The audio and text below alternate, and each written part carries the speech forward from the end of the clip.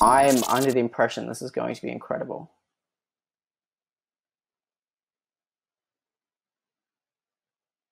I love the animation so far. I apologize for my slow internet.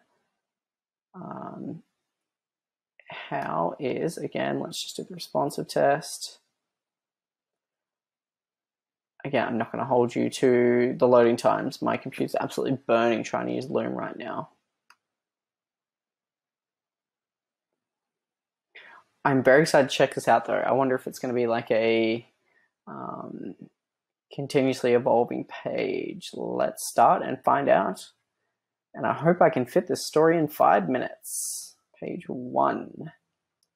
We need to talk about the big bed. Oh my goodness. Is this a video or is this. Yeah, wow. Are they hovering? That is a separate element. My goodness. And of course, you narrated it as well. That's incredible. What is next?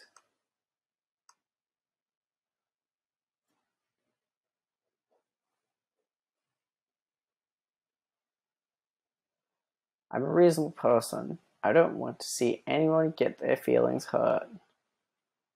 Ah, follows my mouse. Yeah, wow, very interactive. I'm keen to see what every page has that's unique. Like there's just unique animations amongst anything. I love that.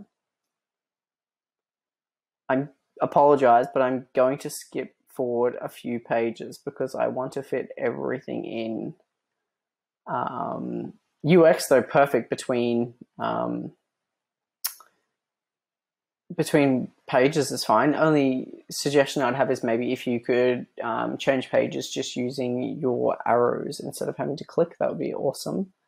Um, how many pages are there? 97 did I just see?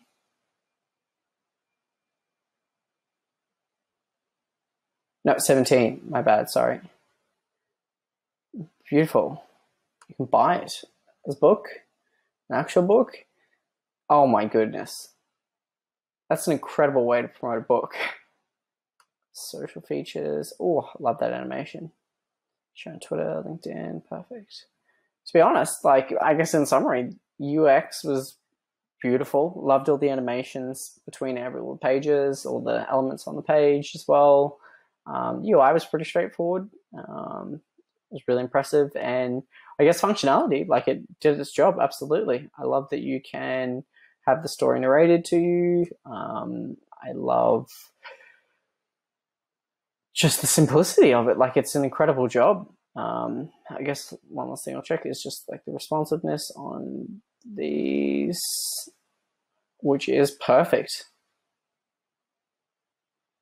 Yeah, well done. That's really impressive.